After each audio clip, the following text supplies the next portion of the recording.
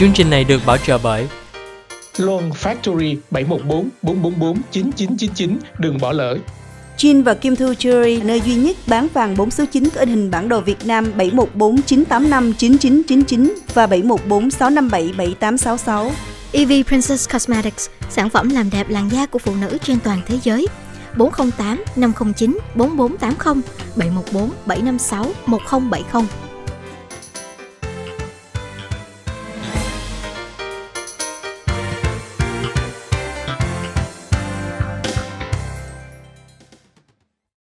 Ông Lan Hoàng Trọng Thủy trở lại với tất cả quý khán thính giả. Và nếu quý vị theo dõi các bản tin liên quan đến à, dịch bệnh đại dịch thì, thì tin tức à, tốt đẹp càng ngày càng nhiều.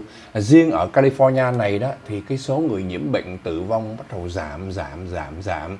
Và trong suốt mấy ngày qua à, người ta đang trông chờ ngày 15 tháng 6 ngày 15 tháng 6 một ngày rất quan trọng của California. Sau hơn một năm trời đúng là một năm 6 tháng luôn đó là phải đóng cửa vì đại dịch. Giờ đây thì ai cũng trông chờ ngày 15 tháng 6. Tối hôm qua tình cờ tôi bật YouTube lên xem á, thì phải chịu khó ngồi coi cái quảng cáo trước khi mình vô cái video chính thức đó thì bất chợt thấy một cái khuôn mặt rất là quen mà tôi lại thích cái khuôn mặt tài tử để lắm thì nhìn ra mới là Emma Stone ở trong cuốn à, phim à, La La Land trước đây đó tôi rất là thích cô này đóng hay nhảy cũng đẹp mà dễ thương thì mới coi thấy đăng thấy quảng cáo thì cũng phim wow Emma Stone lâu lắm chờ đợi cuốn phim mới của cô. Từ hồi La La Land tới bây giờ thì bây giờ Emma Stone xuất hiện trong cuốn phim mới mang tên là Cruella.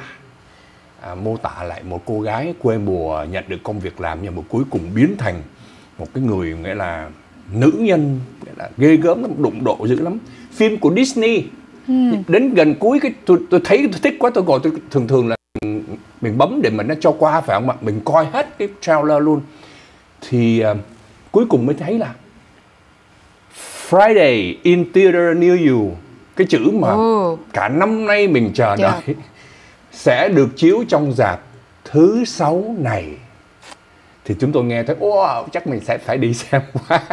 Thì uh, họ quảng cáo đó họ nói cho một là quý vị có thể vào theater in theaters ừ. hoặc là quý vị cũng có thể mua được, bởi vì ờ, cái cái đại dịch đó, nó đã giúp cho một số những công ty làm ăn phát triển sang một cái lĩnh vực khác mà nó thành công hơn bình thường, họ không ngờ luôn Disney bởi vì đại dịch đó, họ chưa có tính là, họ đang tính là sẽ mở cái dịch vụ chiếu phim ở trên mạng để mà cạnh tranh chung với Netflix ừ.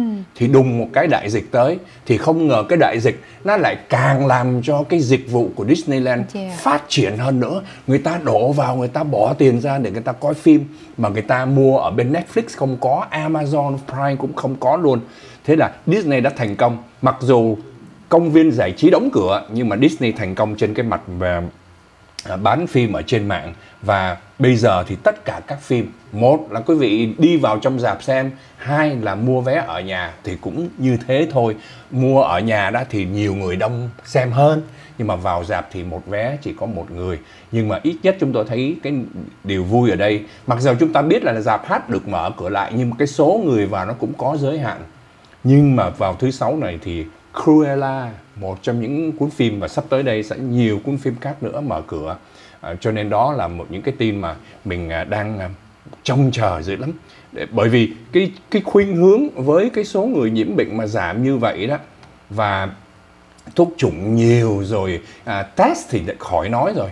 À, tất cả mọi nơi chưa kể là LA, New York các nơi bây giờ đó họ khuyến khích thậm chí um, Lakers ngày hôm qua cũng tuyên bố những quý vị nào chích ngừa đó chịu khó đi chích ngừa đó sẽ rút số để được trúng vé đi vào xem các trận bóng của Lakers đang rất là hot ở Los Angeles này thưa quý vị. À, cái chuyện mà anh Thụy đang nói là cái chuyện mà người ta đang háo hức để mà mở cửa rồi đi coi phim trở lại. Mà thứ sáu này là anh Thụy chắc chắn là đi coi phim yeah. rồi đó. Thì người ta cũng dự đoán là vào ngày à, thứ hai tới đây ngày à, Memorial Day thì cái du lịch ừ. nó sẽ tăng lên Khủng 60% so wow. với thời điểm này của năm ngoái 60% wow. mặc dù rằng uh, uh, như ngay từ bang California thì nói là đến ngày 15 tháng 6 mới mở cửa hoàn toàn nhưng mà cái hiện tượng mà người ta náo nức để mà được đi du lịch lại đó thì nhiều nhiều lắm ai cũng muốn là sẽ có cái cơ hội để tu túng quá trong nguyên một năm rồi bây giờ cứ có dịp là họ đi họ đi. Cho nên là dự trù rằng là có sẽ đến khoảng 37 triệu người. 37 Khổ triệu người sẽ đi du lịch trong cái ngày từ ngày 27 tháng 5 cho đến ngày 31 tháng 5 à, và người ta sẽ dự đoán rằng là nó có những cái thời gian mà quý vị ra đường á, sẽ thấy nó nó đông như kiến. Ví dụ như là ở ngay ở LA đi thì người ta đoán là vào ngày thứ năm mà 28 tây tức là bữa đó là thứ à, thứ sáu ngày thứ sáu thì từ 4 thì giờ thứ sáu này là Disney chiếu phim cùng cái ngày lễ từ 4 giờ rưỡi chiều cho đến 6 giờ rưỡi chiều á là cái giờ đó mà ai mà đi ở cái khu vực khu vực LA á là thê thảm luôn bởi vì người ta uh, bắt đầu đổ dồn đi đổ dồn đi chơi anh thủy có yeah. những người á, thì thường ngày lễ thì các cái công ty hãng xưởng lớn á, họ họ cho về sớm. Thì bắt đầu từ buổi chiều đó là người ta đã đi rồi. Rồi có người thì cũng là tan sở giờ đó cho nên rằng là à, ai mà đi trên cái con đường ở khu vực mà Los này thì cẩn thận trong cái cái giờ giờ phút đó cái giờ khác đó từ 4 giờ rưỡi chiều cho đến 6 giờ rưỡi. À, sẽ có rất rất là nhiều người mà nếu như thử hôm bữa Ngọc Lan thử vô coi Las Vegas mở cửa rồi. Mà ngày thường á nó rẻ lắm anh thị nhưng mà trong cái đợt lễ này á Ngọc Lan book đi hotel hay là book vé máy bay lên book bay ho- lên? hotel. Không hotel mới thôi. coi thôi mới coi giá thôi. Coi giá để hotel thôi. Yeah. à. trời ơi nó mắc nó Ủa, mắc kinh khủng. chút rẻ lắm. Yeah. 99 đô tôi nhớ hồi kỳ đó. Uh, tính book Manila Bay 99 đồng.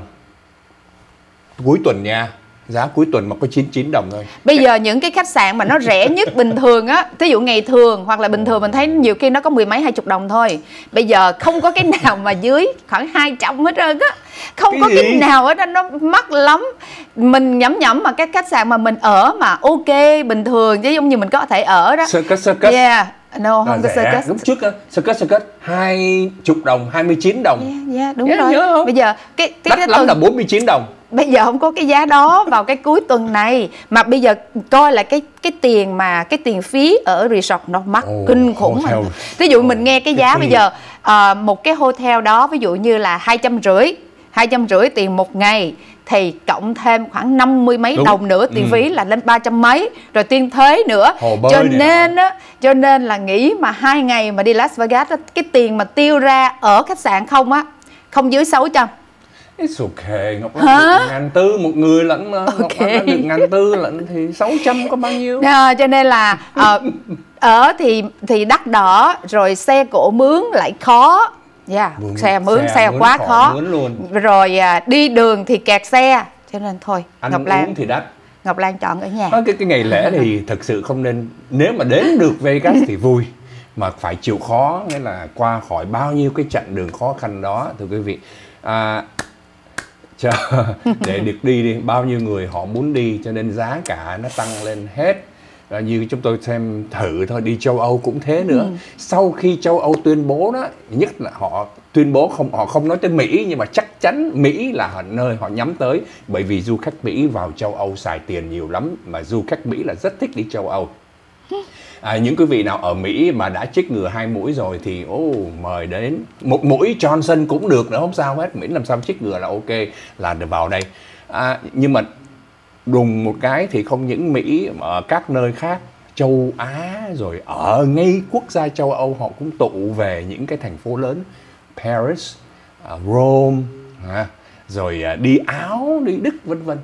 Cái giá vé nó đắt mới là thêm 500 đô la nữa so với năm 2019 tức là năm 2019 tôi được book cái vé đi thẳng tới Rome á, nó chưa tới 1 ngàn thì hôm vừa rồi xem đó bay thẳng tới Rome là 1.500 Mỹ Kim một vé yeah.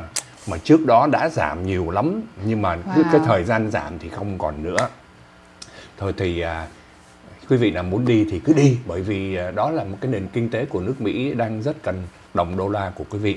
À, một cái tin rất là buồn mà đến giờ phút này đã cảnh sát ở Garden Grove, ở um, Anaheim và vẫn tiếp tục theo dõi và họ kêu gọi công chúng hãy hỗ trợ. À, quý vị nghe cái tin này mình đau yeah. lòng lắm là bố mẹ mà có con nhỏ đứa bé 6 tuổi, bé trai 6 tuổi. Tại sao cái số mạng nó lạ ghê ha?